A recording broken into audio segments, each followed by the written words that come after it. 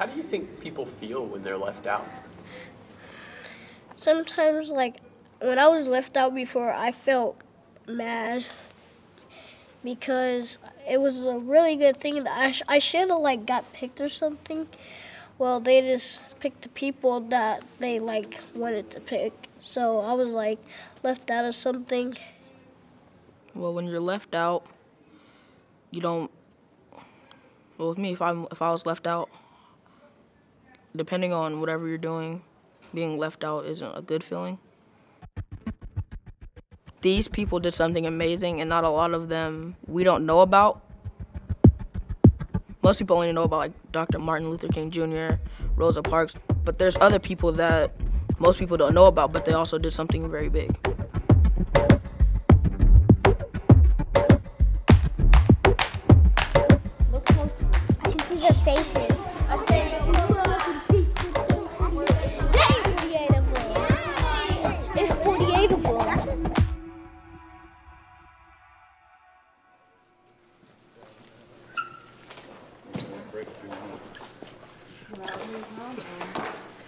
My name is Samuel Levi Jones, and I'm a visual artist.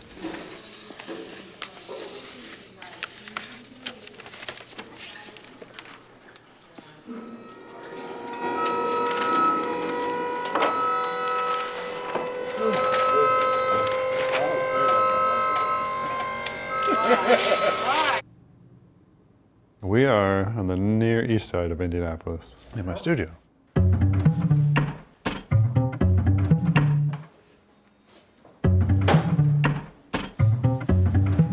The inspiration with this piece in particular, it's a reactionary piece to a work by Gerhard Richter called 48 Portraits. His piece, there are 48 portraits of white men, caught my attention and I was curious about, of all the important figures, if one were to depict in a work, you know, why would it be all white men? And then when I learned that the source images were from the encyclopedia, I got a set of encyclopedia that so happened to be from 1972. And they are individuals that are predominantly represented are, are white men. I started thinking about those who are left out, and that's where I went. The work that I have, I chose 24 black men, 24 black women that could have been imaged in the encyclopedia that year that weren't. The underexposed, which is part of the title, 48 Portraits Underexposed, is two things. The, the portraits are underexposed, literally underexposed. So they're, they're underexposed where you can barely see the faces, but there's also, you know, being underexposed in terms of information, you know, not being in the encyclopedia, not being sort of like viewed as important figures of, of history. So there's like fighting for visibility, if you will. The paper is handmade.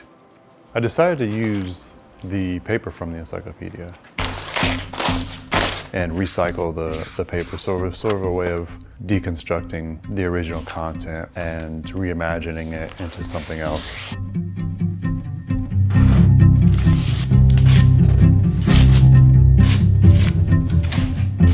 I could have just printed on regular paper that was provided, but there was something particular about using the original material.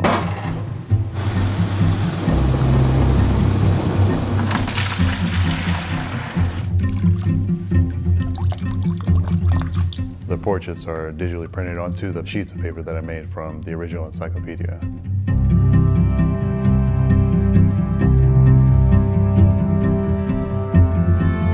The ceiling from the floor is nearly 40 feet high. It's sort of, in some way, overwhelming. It has a different presence to it, has an overpowering presence to it, which I, I really like. It's in a great location, being in the cafeteria where the kids are every day with the location too being that it's in an academic setting. Probably of all the places that I've shown, this is probably one of the, the most important.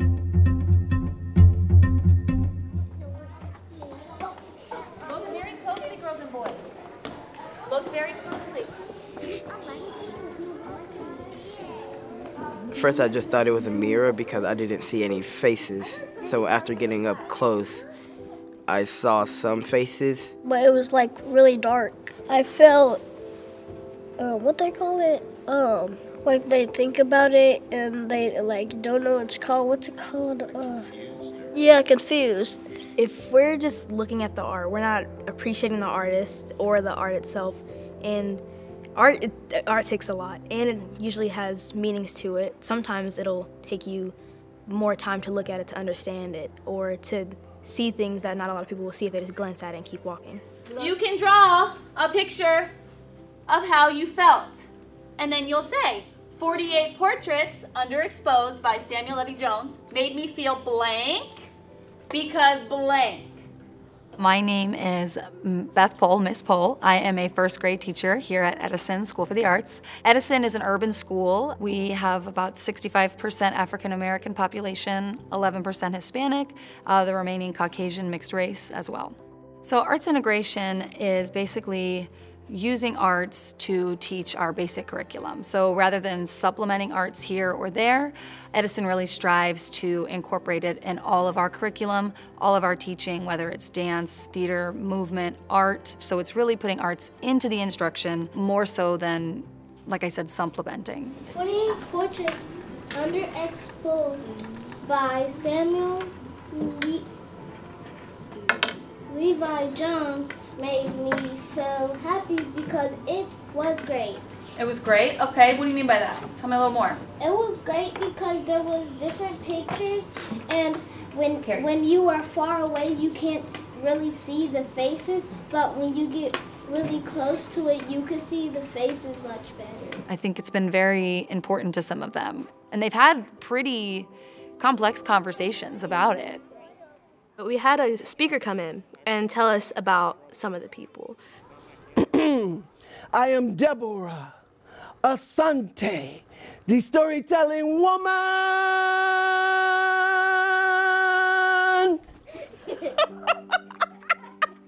now I'm here to tell you the story of that artwork. This piece of work did not capture me. At first, I, I was even angry. I was like, wow, This is too dark. I can't see it." and I turned away from it. But because they're hard to see, you have to decide that you're going to discover who is in this exhibit. People like Madam C.J. Walker or Bessie Smith, Bessie Smith in particular. Bessie Smith is a, was a blues singer. Yes, I'm mad and I have the right to be. Now, I'm no Bessie Smith when it comes to voice, but I have her nerve. so I find inspiration from her. And so the more that I stop and look and try to find her and recognize her in a different way because I know this cropped picture of her face is going to make me see her differently. Hello. Hello. Hello. How you guys doing? Good. My name is Theon. You can just call me Theon. I don't need to be called Mr. Hi, guys. I'm going to make a face and I want you to tell me what you think I'm thinking about, okay? Ready? Set. Go. Uh, bored. Bored? Mad? Mad? I was gonna say mad. You gonna say mad? Frustrated, okay. So wearing your feelings on your face makes it a lot easier to communicate how you feel, right? It's a thing called not, I want you guys to repeat after me, okay? Non-verbal Nonverbal communication. communication. What we're going to do today is we're going to focus on the same art piece, right? But we're going to focus on something a little different, okay? We are going to talk about how we think the person or the people in the pictures might feel, right?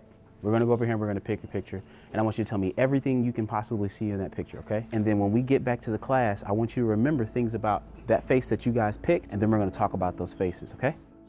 The man who has a mustache, he looked like he was mad because he didn't win something. I noticed when I looked at it, uh, the man, it looked like he was sad. The artist is trying to say that they're superheroes that save their countries and save the world and who brings people together for communities. Like here, we're together now in like a school where a lot of people from different countries can come to a school and learn about different people and how they did stuff. As seeing art actually displayed, that's not any that's not from the school and outside, because I'd never heard of this man at all until uh, they came until they, they put the whole thing up, and we just started talking about it this week. Knowing about some people, I've heard about Malcolm X because my uncle keeps joking about how I look like him, something like that. But I don't really know everything about him. I don't know who he is. All I know is he's an African American male who so, who made his mark on something. So now I am really intrigued in it. I want to know way more about it. We were having a conversation earlier sort of about the idea of this project. So this idea of like disrupting a space. This is the first time I've ever done anything like this and I hope that maybe it will lead to other things and I think you know more programs like this should exist so uh, that, that young people have an opportunity to experience work. Us kids, we don't really think about like the struggles of people back then. We just see it as as history, but we don't really think about it. And you stand closer, and I think that's what he wants you to do: stand closer to see them and understand them more and pay more attention to them.